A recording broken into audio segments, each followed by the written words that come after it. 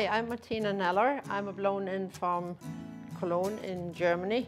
I live here in the lovely County Donegal for the last 19 years.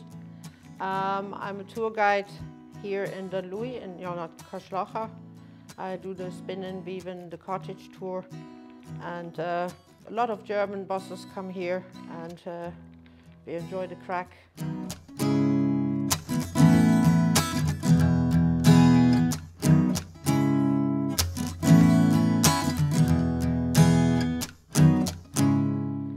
And one question is always asked, how the heck did you get here to Donegal? And well, needless to say, it was a red-haired Irishman, a Monaghan man.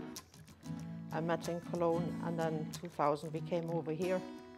I restored the cottage and he worked abroad.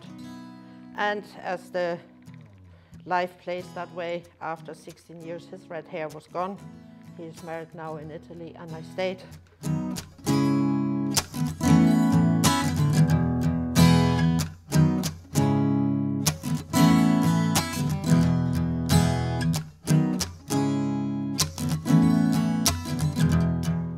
I studied graphic design in the LYIT and there wasn't really many jobs about.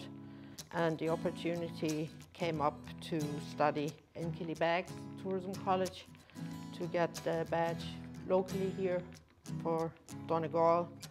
And also um, I went to Belfast to do the qualification for a tour guide in the north.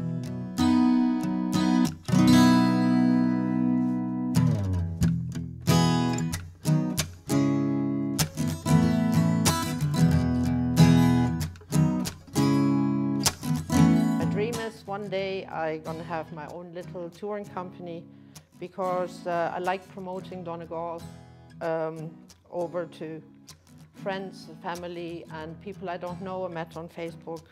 Um, the hidden gems here in Donegal. After all, we are the forgotten county. And uh, there's loads of hidden gems.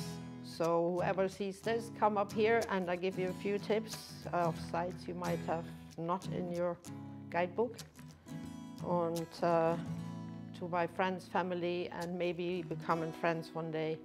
Äh, kommt mal vorbei, sagt Hallo, Tasse Kaffee und ähm, ich zeige euch die versteckten Juwelen hier in der Grafschaft Donegal.